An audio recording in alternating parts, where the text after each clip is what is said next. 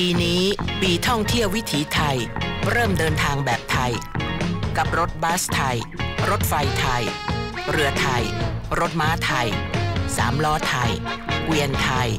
หรือสกายแลบไทย แวะกินอาหารเช้าแบบไทย กับไส้กรอกไทย ไข่ลวกไทย แพนเค้กไทย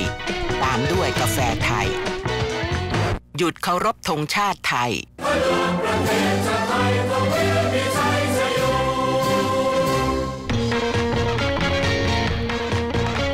ต่อด้วยกินผัดไทย น้ำกะทิแตงไทย หรือกบทอดกระเทียมพริกไทย เล่น wakeboard ไทย เล่นกับวาฬไทย ขี่ Formula One ในไทย ใส่ผ้าไทย แล้วเข้าวัดไทย จีนฝรั่งพักแช่ออนเซ็นไทย แล้วนอนอ่านนิยายไทย ขึ้นเหนือดู Grand Canyon เมืองไทย ไปอีสานชมฟูจิเมืองไทย ลงใต้ดูกุ้ยหลินเมืองไทย หรือช้อปปิ้งที่เวนิสเมืองไทย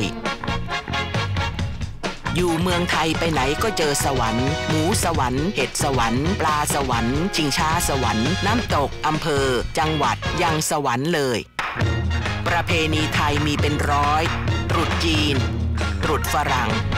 ตรุษไทยายังไม่จุใจ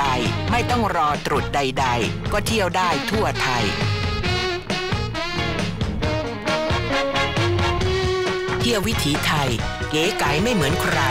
การท่องเที่ยวแห่งประเทศไทย